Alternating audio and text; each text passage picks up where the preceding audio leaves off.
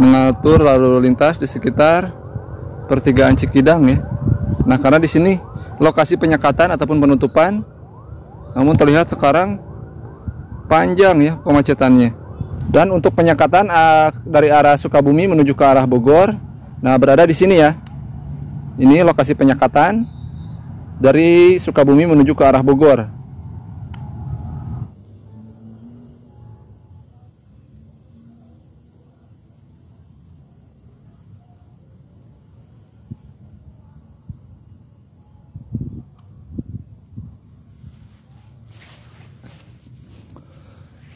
Assalamualaikum warahmatullahi wabarakatuh Kembali lagi bersama channel youtube Edward Widodo Hari ini Sabtu tanggal 17 Desember tahun 2022 Channel youtube Edward Widodo kembali hadir mengudara Untuk berbagi informasi seputar kondisi terkini Di sekitar area jembatan Pamurian Cibadak.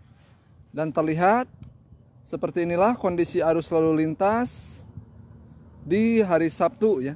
Ini saya take off sekitar pukul 10 siang. Jadi jalur masih diberlakukan buka tutup ya. Ini arah ke depan sana menuju ke arah Bogor maupun ke arah Jakarta. Ini kita terlihat lihat ya. Antriannya lumayan panjang juga. Coba kita lihat ke depan. Ini yang mengarah ke arah Bogor. Di sini terlihat antriannya lumayan panjang ya.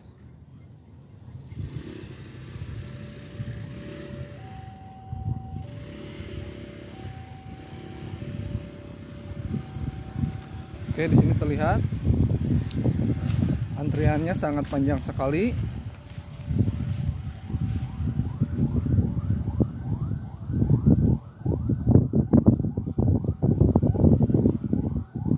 Sekarang kita akan menuju ke arah jembatan Pamurian Cibadak ya.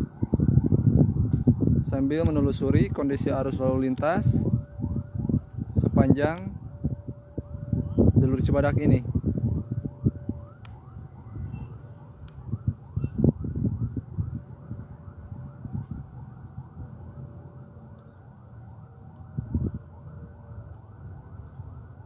Oke jadi seperti ini ya. Ini jalurnya masih dibuka tutup sampai selesainya perbaikan di sekitar jembatan Pemurian Cibadak ya.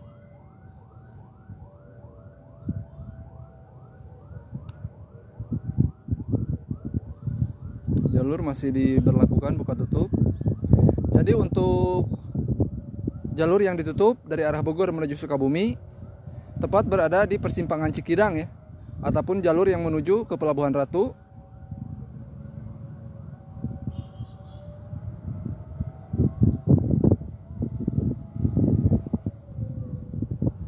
Nah, terlihat di depan itu mulai diberlakukan penyekatan ya.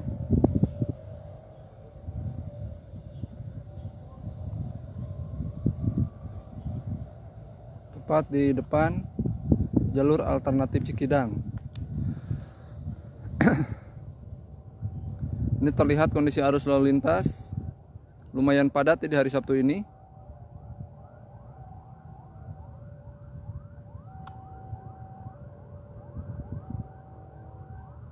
Terlihat eh, para PJ polisi mengatur lalu lintas di sekitar pertigaan Cikidang ya. Nah, karena di sini lokasi penyekatan ataupun penutupan namun terlihat sekarang panjang ya kemacetannya.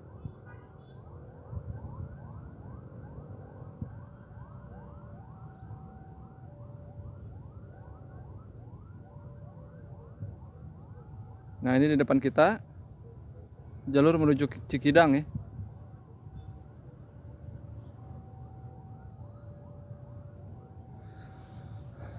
Mudah-mudahan perbaikan di jembatan Pemurian Cibadak segera tuntas ya agar tidak terjadi kemacetan seperti ini. Ini macetnya lumayan panjang ya.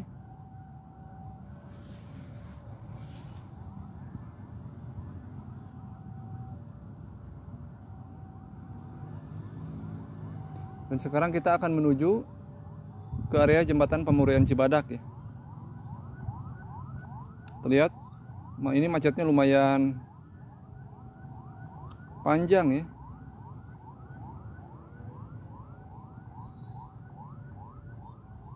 jadi seperti inilah update terbaru di sekitar Pemurian Cibadak ya ataupun tepatnya jalur yang melewati jembatan Pemurian Cibadak terpantau sangat ramai ya kondisi arus lalu lintasnya. Dan sebentar lagi akan ada kereta api yang melintas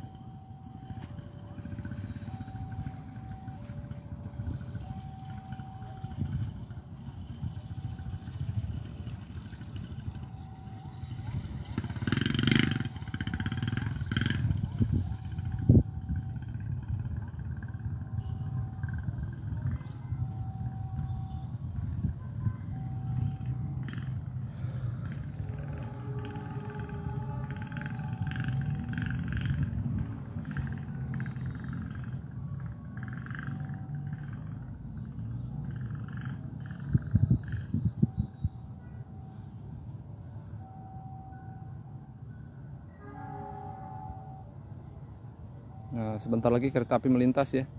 Tepat di sebelah kiri ini. Yang sudah terlihat di depan sana merupakan area dari jembatan Pemurian Cibadak. Ini untuk jalur masih buka tutup ya. Oke, terlihat di bawah sebelah kiri kereta api jurusan Bogor menuju Sukabumi ya.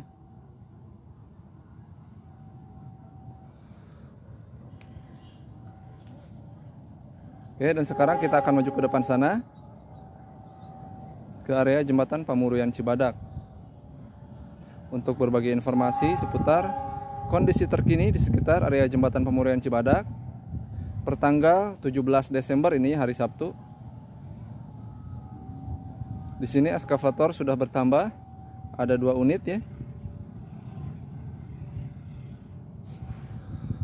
Oke, sambil menonton bagi sobat YouTube yang baru bergabung ataupun yang baru menemukan channel YouTube Edward Widodo, alangkah baiknya dukung terus channel YouTube Edward Widodo dengan cara klik tombol like, komen, subscribe dan aktifkan juga tombol loncengnya agar sobat YouTube semua selalu mendapatkan berita dan informasi seputar progres Tol Bocimi Seksi 2 dan pembangunan jembatan Pamurian Cibadak.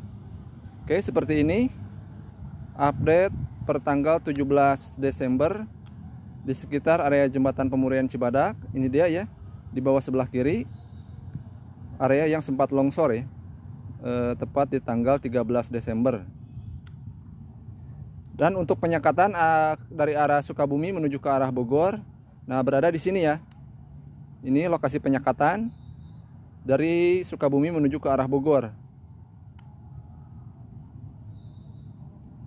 Dan di depannya ini adalah jalur alternatif Nagrak ya.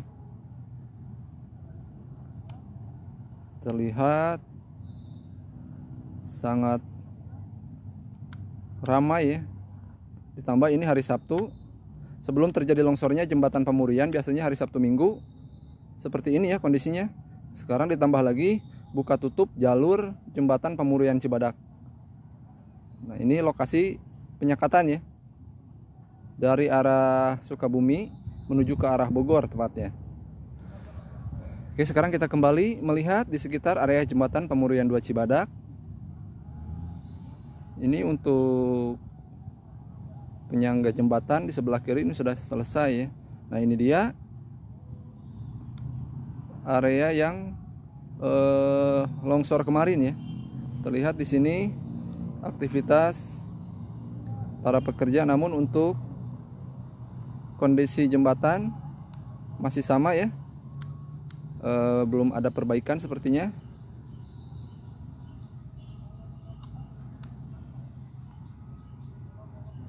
Oke kita geser lagi. Oke jadi seperti ini ya sobat YouTube.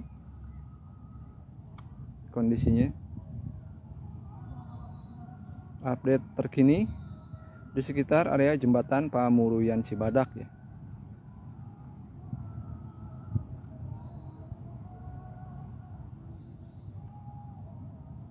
dan di sini juga ada satu unit ekstra ya. Nah. Dan seperti inilah kondisi arus lalu lintas di sekitar Pamuruyan Cibadak ya.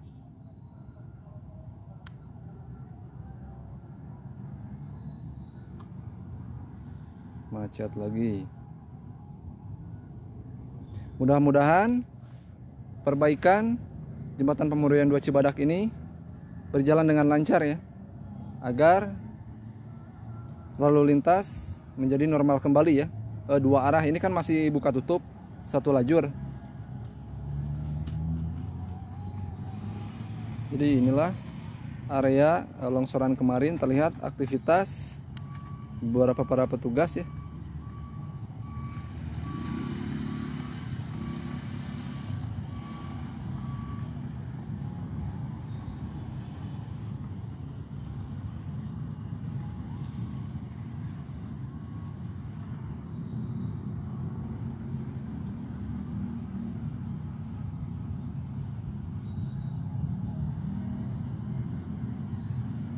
Sekarang kita akan memantau lagi kondisi arus lalu lintas di sekitar pertigaan Cikidang ya.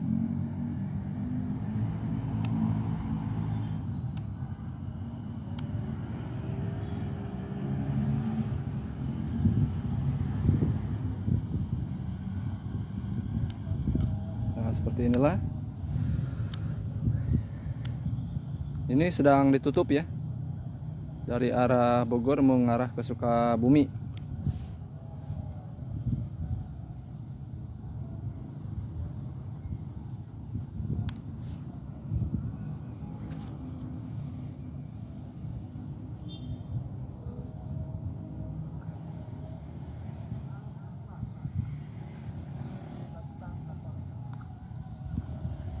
Oke, jadi seperti ini ya kondisi arus lalu lintas di sekitar Pemurian Cibadak.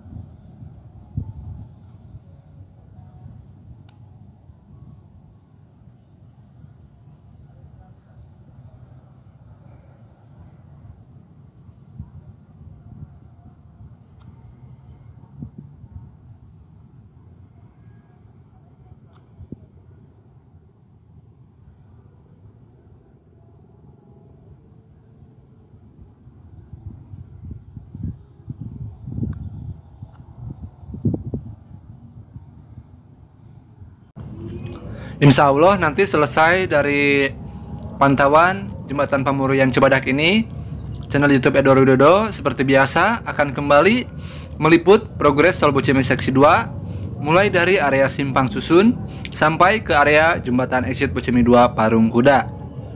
Mari kita doakan semoga pembangunan jalan tol Bocimi seksi 2 dan pembangunan ataupun perbaikan di sekitar area jembatan Pamurian Cibadak diberikan kelancaran ya serta para pekerjanya selalu diberikan kesehatan, keselamatan dan juga kelancaran. Khususnya perbaikan yang berada di sekitar jembatan Pemurian Cibadak ini sangat dinanti-nanti ya agar kondisi lalu lintas segera normal kembali. Tepat di hari Sabtu ini, tepatnya tanggal 17 Desember, kondisi di sekitar jembatan Pemurian 2 Cibadak masih dibuka tutup ya Nah ini penyekatan dari arah Bogor menuju Sukabumi berada tepat ya ini di pertigaan Jalan Cikidang ataupun jalur alternatif yang mengarah ke Pelabuhan Ratu. Terlihat di depan sana eh, kendaraan masih antri ya, mungkin masih ditutup eh, ya ke arah Sukabuminya dan terlihat dari arah Bogor sudah mulai melaju ya dari arah Sukabumi ke Bogor. Oke, mungkin saya cukupkan sampai di sini dulu untuk berita ataupun update terkini di sekitar jembatan Pemurian Cibadak. Mohon maaf apabila masih banyak sekali kekurangan di dalam penyampaian maupun dari cara pengambilan gambar. Insya Allah channel YouTube Edward Widodo akan terus memaksimalkan di setiap tayangan.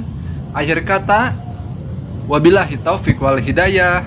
Wassalamualaikum warahmatullahi wabarakatuh.